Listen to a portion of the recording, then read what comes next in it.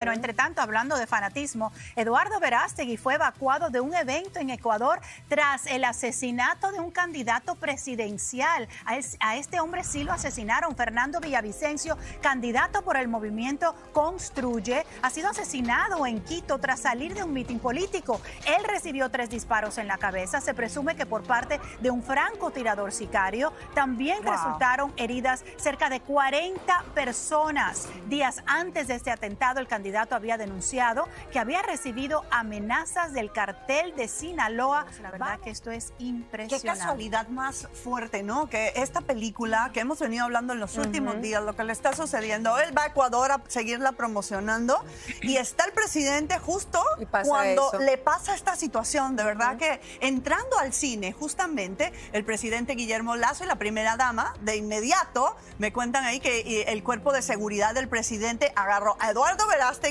al presidente, a la primera dama, y los pusieron a salvo y los trasladaron a Eduardo en un avión privado para sacarlo inmediatamente del país. Por razones de seguridad, este, mucha gente ha estado especulando que a dónde se habrán llevado a Eduardo. Ya tenemos la información y específicamente se lo han llevado a nuestro país, Brenda, a Costa Rica. Él se encuentra en Costa Rica este momento en donde continúa eh, con su agenda para la premier eh, el día de hoy con el presidente de, de nuestro país. Y, yo creo que aquí de verdad que es una situación em, muy impresionante, me imagino, para él vivir esta situación en un país y en donde él lo que está tratando de hacer es que hayan más oídos y más eh, personas que sepan de las injusticias que se cometen con los niños. No, y, tú sabes que nosotros aquí hablamos, bueno, todos los días, desgraciadamente, de las cosas que pasan aquí en Estados Unidos, la violencia, etcétera.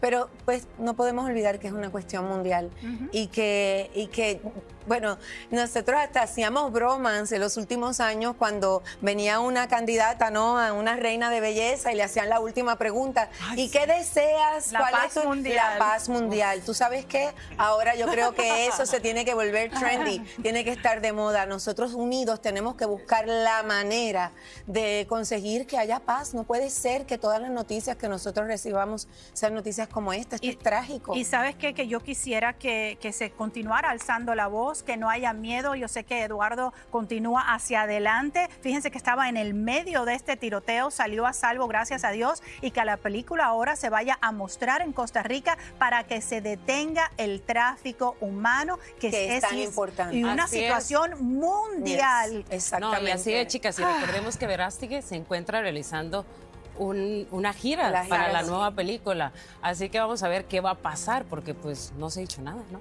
Bueno, él, seguirá su promoción, por supuesto.